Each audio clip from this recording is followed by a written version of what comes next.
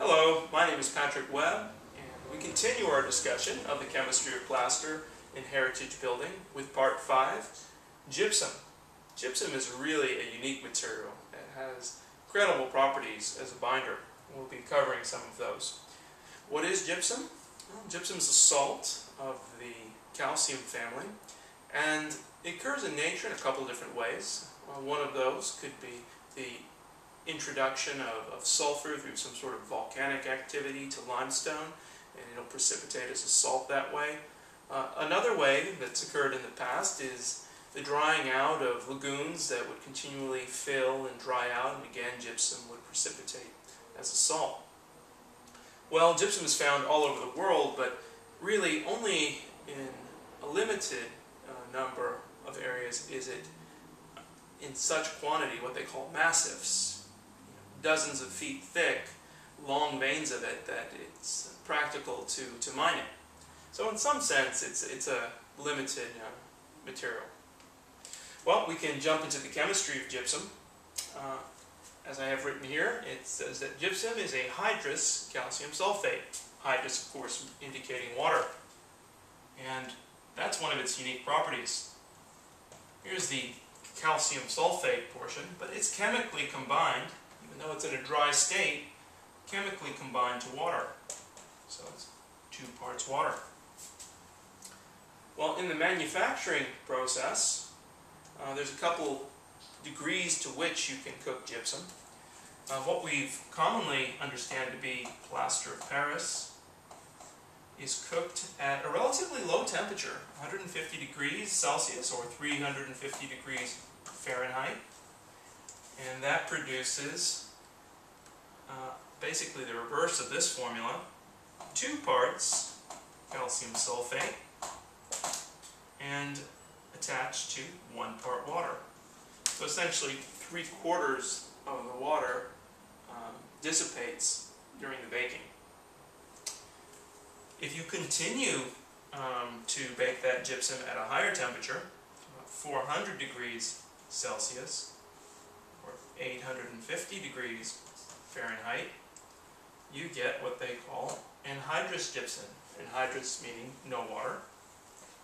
And then it has a chemical formula of just calcium sulfate. These materials are a little bit different. They work differently as plasters, but both are used as plasters.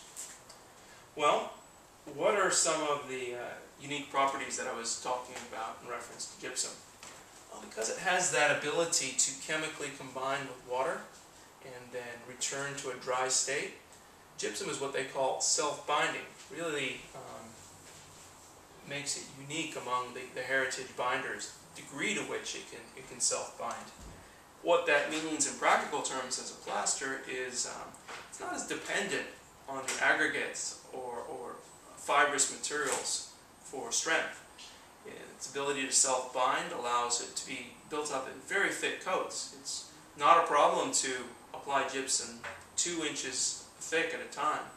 Also for molding and ornamental work, it's very convenient because uh, times you will need to build up uh, a mold and, and sometimes be several inches thick for very large casts.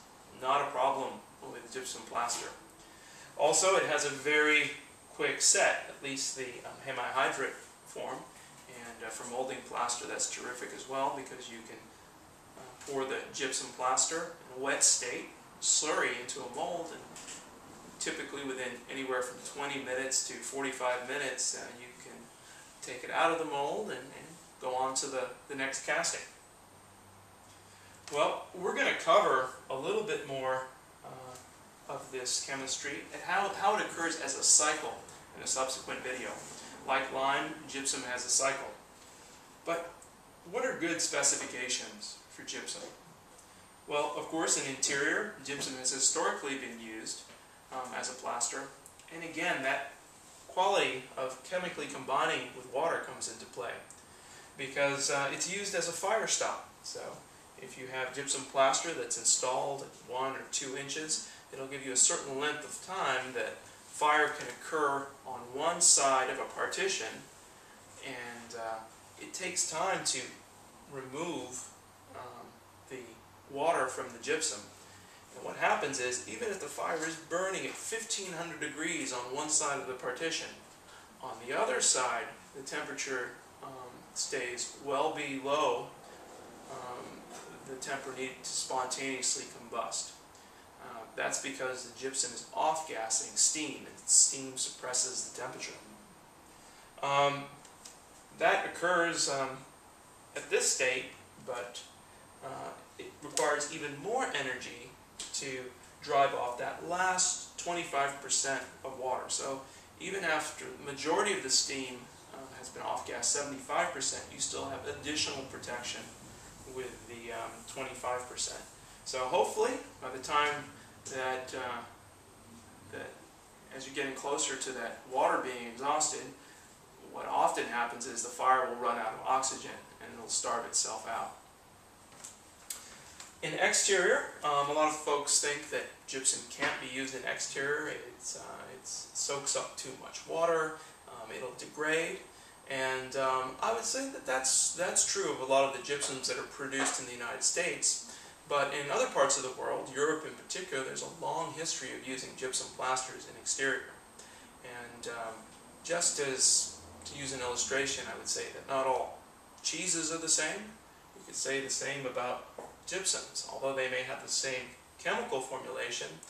Um, a lot of times their crystalline pattern makes a difference and um, how you cook them, the temperature you cook them at, the length of time that you cook them for, the barometric pressure you cook them under, even the small contaminations that may occur in the gypsum itself make a big difference. So they have uh, gypsum renders that I've personally seen in the south of France that have 800 years in exterior. So I think um, that about covers it for gypsum. Next we'll take a look at the uh, gypsum cycle.